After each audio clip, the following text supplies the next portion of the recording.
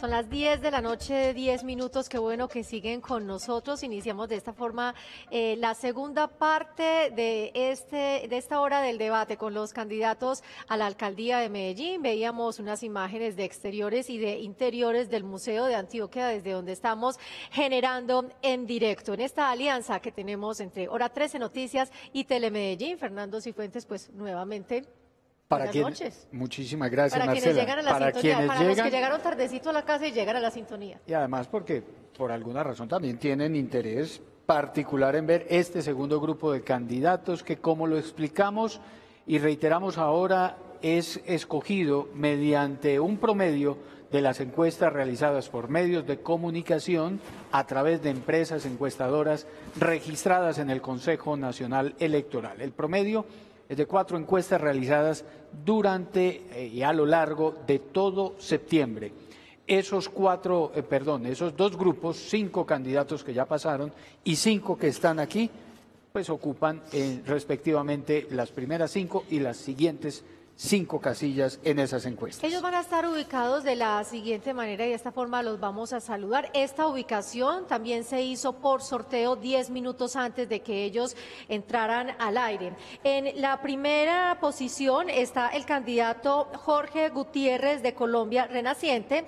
En la segunda posición va a estar hoy todo el tiempo Víctor Correa del Polo Democrático Alternativo. En el tercer lugar estará Jairo Herrán Vargas de Colombia Humana y Unión Patriótica. En el cuarto lugar queda la silla vacía del candidato Juan David Valderrama del movimiento Todos Juntos, carta que ya vamos a leer, pero también queremos contarles que en la quinta posición, en eh, la quinta ubicación está Gema Mejía de Colombia Justa Libres. Efectivamente, el candidato Juan David Valderrama se excusó mediante comunicación que hizo llegar a este espacio. Señores Telemedellín, hora 13, cordial saludo.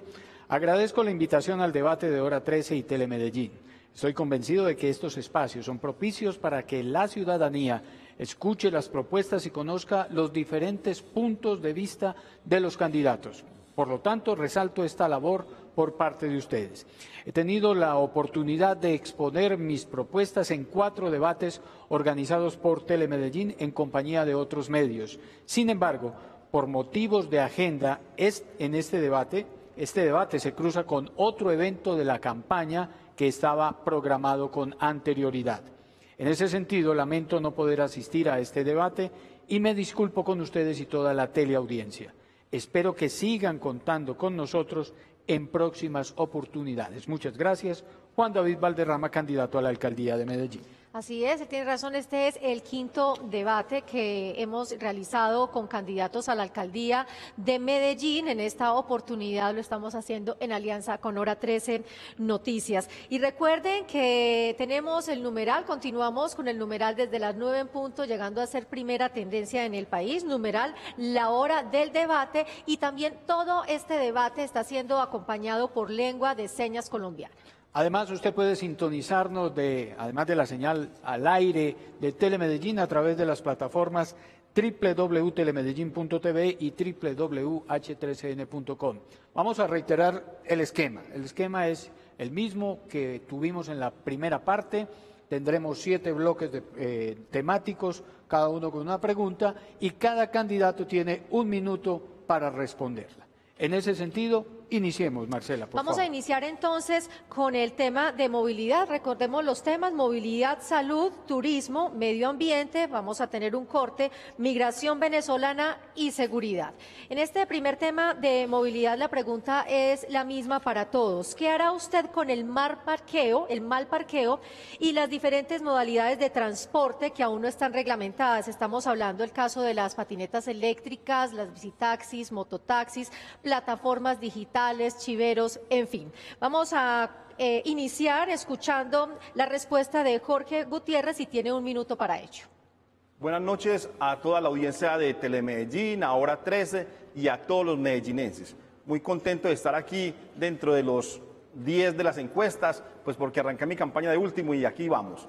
Bueno, ante su pregunta del mal parqueo, primero, una cultura, una pedagogía para que nos parquemos bien. Es que uno va por Palacé y en Palacé se da cuenta de que al lado y lado colocan vehículos sin respeto alguno por la movilidad. Debemos de volver a tener la cultura ciudadana que teníamos los paisas, que la, que la hemos abandonado. Pero también acompañado de eso entonces, así como esa cultura la vamos a implementar durante un tiempo, aquellas personas que no hagan caso, pues los vamos a sancionar, porque la sanción también es una forma de que la gente retome una cultura ciudadana. El municipio, claro está, al mismo tiempo tiene que generar las oportunidades y las posibilidades para que haya una infraestructura de parqueos en la ciudad de Medellín que sea eficiente y podamos parquear los carros en esta infraestructura de parqueadero en la ciudad. Muchas gracias. Candidato turno para Víctor Correa del Polo Democrático. Las plataformas como Uber actúan de manera ilegal en nuestro país y en nuestra ciudad y eso no lo vamos a permitir. Nosotros somos defensores del transporte legal. Si alguien quiere prestar el servicio particular de pasajeros, el transporte individual de pasajeros, tiene que cumplir con la normatividad colombiana. Un cupo que existe para regular el número de vehículos que transitan por razones ambientales, pagar las licencias necesarias para poder, los, los seguros necesarios para poder garantizar la seguridad de los pasajeros, la licencia que se necesita, los impuestos que se requieren, en últimas, someterse al régimen de tarifas que pone el Estado, en últimas, operar como operan hoy los taxis, que son los que prestan el servicio legal en nuestra ciudad. Respaldo al taxismo en sus movilizaciones en contra de este tipo de plataformas. Eso sí, me sumo a los clamores y llamados ciudadanos que hay que mejorar el servicio de taxis y estaremos acompañando también esta apuesta para que la gente tenga una alternativa digna de movilización y los taxistas puedan seguir operando en la legalidad. Eh, ahora a su turno, candidato Jairo Herrán. Bueno, en primer lugar agradecerle a Telemedellín y Ahora 13 por la oportunidad de debatir nuestras propuestas con todos los televidentes. Eh, aquí sencillamente hay que tomar medidas en cuanto a que las sanciones que se están imponiendo por mal parqueo no sean sanciones injustas, porque el Código Nacional de Tránsito regula este tema ampliamente, tanto para estacionamiento de vehículos, motocicletas, eh, motonetas, bicicletas, patinetas, etcétera. Quien haga un mal parqueo, pues tiene que atenerse a las consecuencias. Pero también hay que, con el cuerpo de guardas, tener mucho cuidado, porque hay mucha sanción injusta y desde ese punto de vista hay que evitar sancionar de esa manera a los conductores o a las conductoras, porque no solamente implica el tema del dinero, sino implica también el tiempo que tiene que dedicar esa persona para ir al tránsito de forma dispendiosa y actualizarse, además de que está sujeto a registros oficiales. Muchas gracias, candidato. Turno para Gema Mejía, izquierdo de Colombia Justa Libres. Muy bien. Eh, en el tema del parqueo, creo que la ciudadanía necesita políticas de educación vial con énfasis en cultura ciudadana.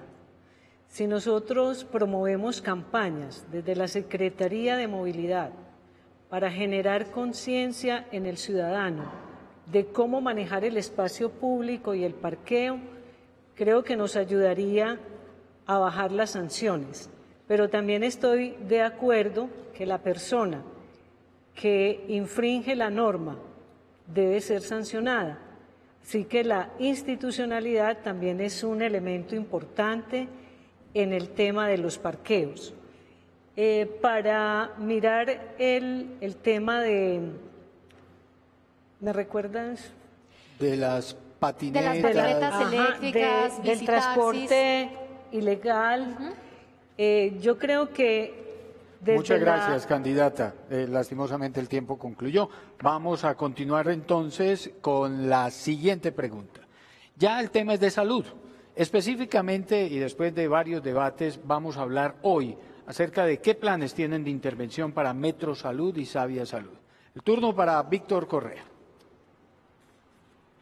Como médico y activista social he dedicado parte de mi vida a defender el derecho a la salud y a defender la idea de que hay que acabar con la mercantilización y la comercialización que ha llevado a la enfermedad y la muerte de muchísimos ciudadanos.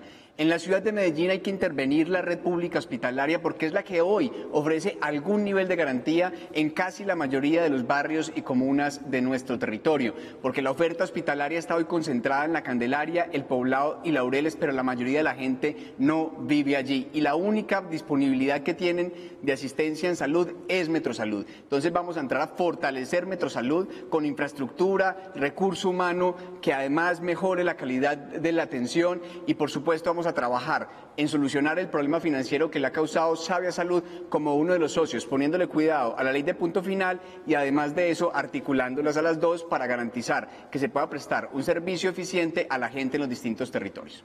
Tiene ahora su minuto, candidato Jairo Herrán. Bueno, definitivamente tanto Sabia Salud como Metrosalud son entidades que están prestando el servicio de la salud con destino a las clases más populares, menos favorecidas.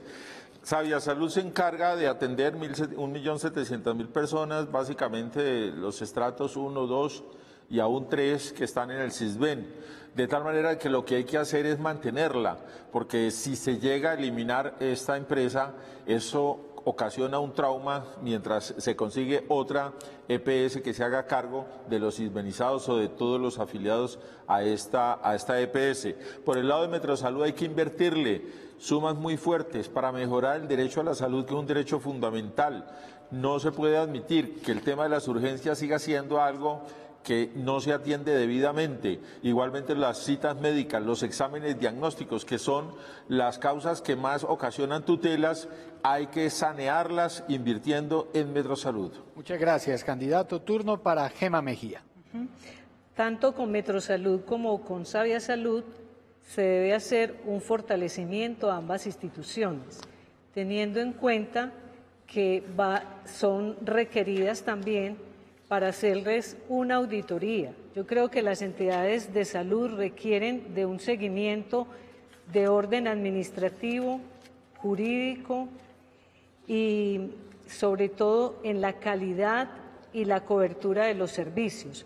Vamos a hacer que estas entidades sean eficientes, las vamos a apalancar económicamente, pero también vamos a hacer un seguimiento estricto a sus programas y al sistema de salud que en este momento están liderando.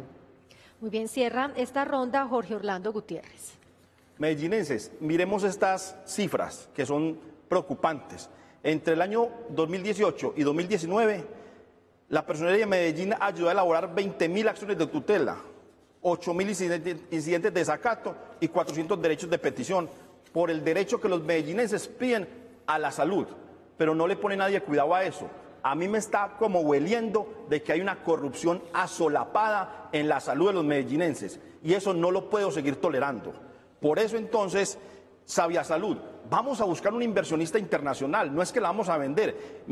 Nosotros, la alcaldía de Medellín, somos socios con la gobernación y con fama y entonces vamos a buscar un inversionista internacional que la haga más viable y podamos tener mejor servicio para los medellinenses. En cuanto a Metrosalud, el sueño que tenemos aplazado de tener un gran hospital en el norte de la ciudad, pues lo vamos a construir, lo vamos a lograr. Y miren ustedes, el caso de un eh, gerente de un hospital que está acomodado y con unas preguntas de corrupción que nunca se han resuelto. Candidato, muchísimas gracias. En aras de la equidad tenemos los mismos temas, los mismos bloques temáticos que tuvimos con los candidatos que estuvieron de 9 a 10 de la noche, el primer bloque de candidatos. Vamos ahora eh, a hablar de turismo con la misma pregunta. En este caso, iniciaría respondiendo Jairo Herrán Vargas. La pregunta es, en Medellín eh, el turismo aumentó en un 50% en los últimos cinco años. Sin embargo, se corre el riesgo de promoverse dentro de la ciudad la explotación sexual y el consumo de estupefacientes. La pregunta específica es, ¿qué hará para mantener ese turismo de forma responsable? Bueno, hay que seguir con la promoción del turismo sano del turismo, aprovechando todas nuestras fortalezas del medio ambiente, la nobleza de las gentes, los sitios de atracción turística, la ecología, los ecoparques que tenemos nosotros en nuestro país y en nuestra región. Por el lado del turismo sexual es un problema bastante complejo. Primero porque la prostitución en Colombia es, está legalizada. Una persona, una mujer mayor de 18 años que ejerza y que tenga sus documentos al día, pues no puede ser detenida. Aquí están viniendo continuamente los extranjeros, sobre todo de procedencia israelí, norteamericana, eh, en general los europeos, que contratan de una vez paquetes pero lo están haciendo a través de Internet. Es decir, la Internet se está convirtiendo. Recordemos que, en Colombia las mujeres webcams ocupan, el número de mujeres webcams ocupa el segundo lugar a nivel mundial. Entonces eso está facilitando mucho la entrada de turistas que no tienen control. No hay forma, hay que con los servicios de inteligencia llevar adelante desmantelamiento de esas mafias. Muchísimas gracias, candidato. El turno para Gema Mejía. Bien. Eh, vamos a realizar eh, políticas de prevención que le permitan a la ciudadanía mitigar esos impactos que genera el turismo. Eh, necesitamos políticas sostenibles que le permitan a la ciudad minimizar la cultura minimizar los riesgos en la cultura local y en el medio ambiente. Lo vamos a hacer promoviendo eh, el turismo en la ciudad de Medellín desde el área comercial, de negocios, en el área cultural, artística. Sabemos que Medellín tiene una riqueza cultural y patrimonial, la cual la podemos promover por medio del turismo receptivo, un turismo que hoy debemos promover y mostrar al mundo como una ciudad que tiene una riqueza cultural, una riqueza artística y un patrimonio a nivel de sus comunas. Sí, eh, candidata, tenemos ya que pasar al, próximo candidato. Recuerden que tenemos un minuto, Para, para, responder cada una de las preguntas. Muchas gracias. Su turno, eh, candidato Jorge Gutiérrez. Atacaré sin clemencia a las mafias de la explotación sexual. No tendrán descanso porque los voy a perseguir. Voy a perseguir toda actividad delictiva del turismo. Hay que recuperar urgente, recuperar el Parque Lleras. Se volvió un sitio de qué mala calidad. Vamos a recuperar el Parque Lleras como un referente de la ciudad de Medellín. Vamos a construir un, un, turismo sano y por eso voy a construir en San Cristóbal el gran parque zoológico Santa Fe en, el, en, Santa Elena vamos a construir el Parque Las Flores, así como es el Parque del Café, y vamos a convertir a Medellín en todo un parque, en todo un parque de parques temáticos, valga la redundancia, para que la gente de otros países vengan. Vamos a aumentar esa cifra de 862 mil personas que nos visitan en Medellín, vamos a incrementarla hasta el doble para que vengan a disfrutar de los parques temáticos que se van a hacer en la ciudad de Medellín. Muchísimas gracias, candidato. Concluye esta ronda Víctor Correa. Hace algunos días un grupo de niños, niñas y adolescentes, como también de organizaciones sociales, nos invitaron a un foro debate al que solo fuimos cuatro candidatos y firmamos un compromiso para combatir la explotación sexual y comercial de niños, niñas y adolescentes. Y para poder hacerlo hay que entender el problema e intervenir sobre los determinantes del mismo, que son la pobreza, las necesidades básicas insatisfechas, el poco precario acceso a la educación, la deserción escolar, la violencia intrafamiliar. Y este es uno de los elementos sobre los que trabajaremos para transformar la realidad de los territorios más pobres de nuestra ciudad y poder aportar a frenar este fenómeno. Pero también hay que combatir las estructuras criminales que hacen esta explotación y que forman parte de estas dinámicas de las rentas ilegales. Con ellos tolerancia cero, tolerancia cero con la explotación sexual adentro de los hostales, afuera en las calles y trabajaremos arduamente para esto. Y promoveremos el, turismo social como un elemento importante para el desarrollo de este sector en nuestra ciudad y avistamiento de aves, entre otras opciones que son importantes. Muchas gracias, candidato. Estamos en la hora del debate Alianza de Hora 13 Noticias y Telemedellín. Y vamos al tercer bloque, al cuarto bloque de preguntas mejor. Este es el quinto debate en el que ustedes han participado y hemos hablado de medio ambiente, ahí se ha hablado de calidad del aire, de espacios públicos, de arborización, pero hoy concretamente el tema de medio ambiente es la política de protección animal. ¿Cómo va a, proponer, a promover usted una política de protección animal e inicia esta ronda Gema Mejía?